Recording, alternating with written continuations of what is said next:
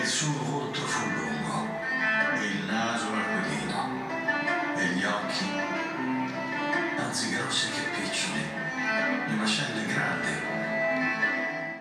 maggio straordinario per la città di Ravenna, l'inaugurazione della mostra di San Romualdo, i concerti del maestro Muti con i Wiener Philharmoniker e oggi l'inaugurazione del Museo Dante in un riallestimento dopo 100 anni, perché questo museo è nato 100 anni fa per le celebrazioni del sesto centenario e per le celebrazioni del settimo abbiamo deciso di riallestirlo completamente con un uso molto importante delle nuove tecnologie con un'attenzione anche ai più piccoli, perché diciamo, il sogno di questo museo è far innamorare diciamo, di Dante i più piccoli, diciamo, gli studenti, i ragazzi e far sì che diciamo, l'esperienza, il racconto della commedia parli alle loro vite, perché diciamo, eravamo tutti un po' sconfortati da questa pandemia e dall'effetto che poteva avere sulle celebrazioni, in realtà adesso ne abbiamo un gran bisogno, nel senso che Dante ancora una volta diciamo, salva il nostro paese, salva l'Italia e attraverso le celebrazioni possiamo ripartire. È proprio ripartenza poi peraltro